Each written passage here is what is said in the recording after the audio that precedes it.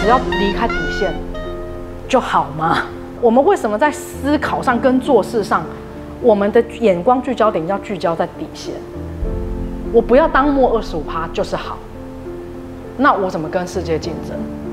那我们在那边骂说什么美帝呀，什么挖贵的，然后什么 GDP 值太低呀，那我们都在被别人代工啊，我们自己都没有品牌啊？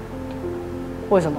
因为我们在教育上，我们眼睛都只看在 B，我不要出事就好，对我不要进末二十五趴。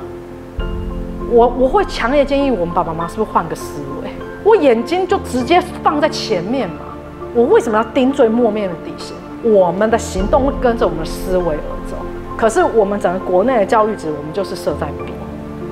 所以，因为我们在起点上，我们出发点上，我就已经定在 B，你真的很难出类拔萃。那很多爸爸妈妈不敢去想出类拔萃，是因为。哦，我想着出类拔萃之后，我会不会把他逼坏？我会把他逼死？我会变虎妈？所以这是我为什么我说我推荐你跳呢，因为这一套软体，它里面提供给你的知识跟智慧，它就是让你顺着孩子的能力去引导跟教。我透过改变父母习惯，来让孩子直接获得好的习惯跟能力。可能爸爸妈妈会觉得比较苦，因为你以前的。行为模式，你会觉得好像要去调，好像要去改，觉得比较累，因为你要去改习惯，你要换用一个方式跟他说话，你要换跟他说不同的话，你要换用一种方式跟他相处。其实我里面给你的东西都很简单，都是你一定可以做到，都是一种很生活的、很日常的。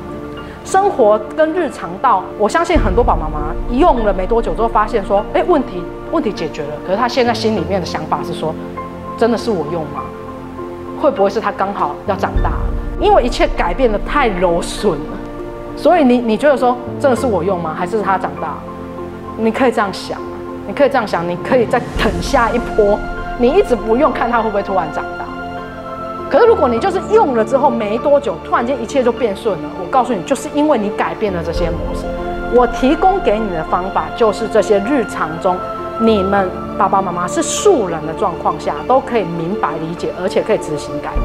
而在这么柔和的状况下，小孩就也改变。为什么？这就叫对症下药。因为我帮你找出他的优势值、他的特质，让你顺着他的特质去引导。对，很日常，很 normal，可是，一切变化就发生。你开始发现，他的眼睛里面开始闪光。